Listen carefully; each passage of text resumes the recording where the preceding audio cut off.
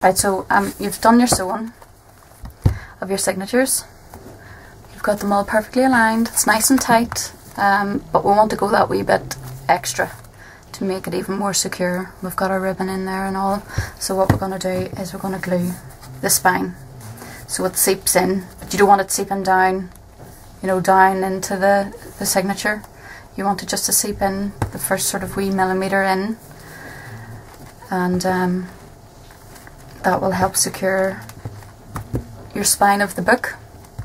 So what I use is good old cheap PVA glue and this is from B&Q that's a, I think it's a UK based company. I don't think you have that in America but it's just a hardware store.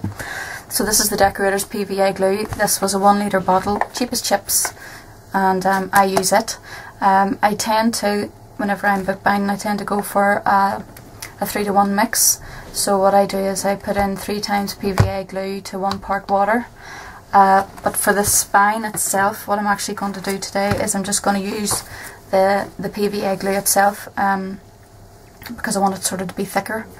This is quite thin PVA glue compared to some of the other ones like, um, is it Anita's tacky glue? It's a wee bit thicker than this. So I won't water this one down for the, for the actual spine of the book itself. So what we do is, I'll show you what you'll need. You just need some bits of scrap paper. And I use these. They're sort of like large bulldog clips. But if you have ordinary bulldog clips that are going to be big enough, just use those because you know you need to, to hold your spine in tight like that whenever it's being glued. Um, so you can use these certainly if you, as long as obviously you're, it's going to fit over your spine. If you've got a larger book, you're going to need something like these or like these. This is, um, my daddy gave me these. So if I'm doing bigger books, sorry about the squeaking, I, I use that. So um, they hold the, the book spine pretty firmly if it's a large book. So as we're doing a small book, we don't need the big hardware. Um, I've only got two of these, so I think I'll, I'll use these today because I needed three places to be held. And you need something like a brush or a foam, a foam brush or an ordinary old paintbrush. And you also need to cut a couple of pieces of paper that are going to go down the back of your spine. Are going to be glued onto it, but I'll do that in a wee second.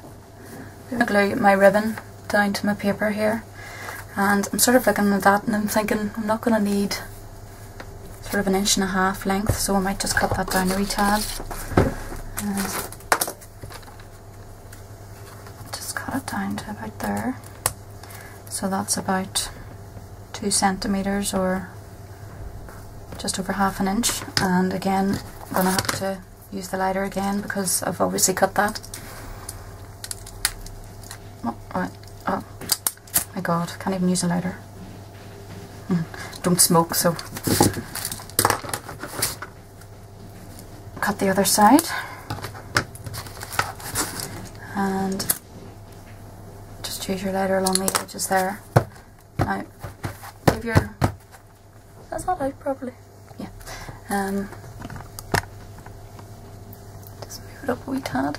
There we go. Happy days. Right, so give your uh, book a good tap. Make sure your pages are all lined up together. And you need to put your finger and thumb at each side of the ribbon and give it a good squeeze down to make sure that your ribbon is straight, that there's no wee puckered bits because if you pucker it obviously that's going to leave more space between the signatures to move so you want to make sure that your ribbon's really tight. And then I'm just going to take my glue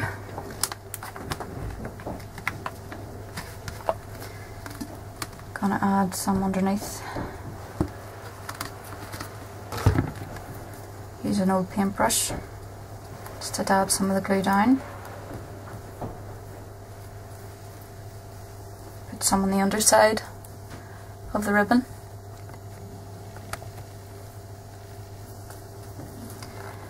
And glue that down and just pat it down with your paintbrush. Now you don't want to put so much glue on your ribbon and your paper that you're going to absolutely saturate the paper itself.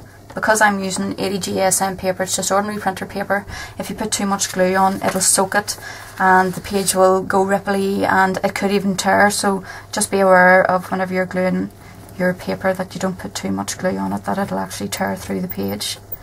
So the glue's done on that side. Turn it over. Just give it a wee pull. Squash down your signatures. Oh. There we are. So squash it squash it down. Give it a wee pull. And add your glue to the page. And a wee touch on your ribbon. You need a wee touch on your ribbon too because um, it actually absorbs the glue quite well. So you want enough on the ribbon that it's going to stick. And just add the glue there, get it close up to the edge of your signatures, to the binding, or sorry, to the spine. And tap that down. I always like to keep a, an old cloth or um, kitchen roll handy, just to wipe off any excess.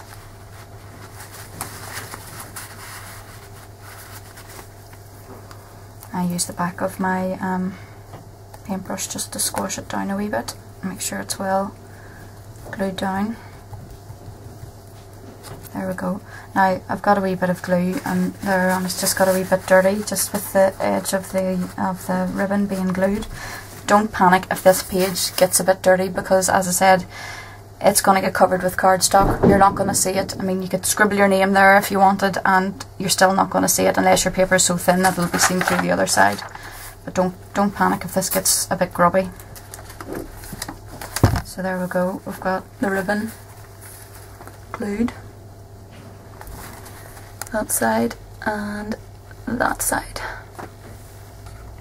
So now we have to add glue down the spine and I think I'll carry on using the paintbrush because it's quite handy. It can get into the, the wee crevices and things so take, oh just move that out the. Just take everything off your desk that you're not using. Um, you find if your desk is a bit cluttered you tend to make mistakes then because you don't have the room that you need. Take the glue and put a liberal amount now you'll probably look at this and think, oh my godly, you've put way too much glue on. You do need quite a lot of glue because the paper does absorb the glue very well. Put it over your thread as well and your ribbon in the middle. So you'll see I have quite a bit of glue there. Try not to let it fall down the edges or anything. See all that? Quite a lot of glue. Take your paintbrush, sort of hold not too tight because you want to get a wee bit of glue down into each of the signatures so at this stage we're not holding it too tight. Uh, do your best not to get it down the side here, if you do just mop it up a wee bit.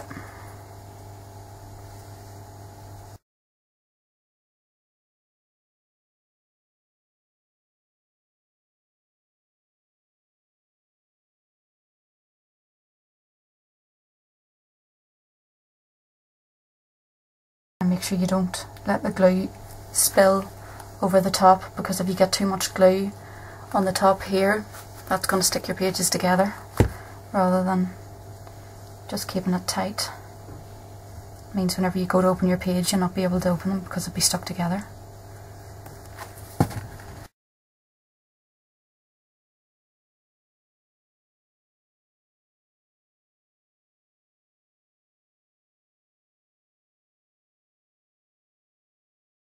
So I'll just set that there for a second and just make sure that I've wiped off any dribbles that side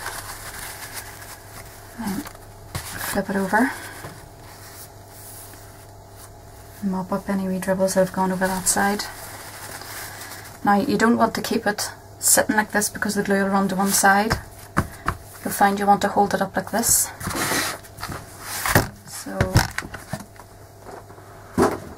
out of the way.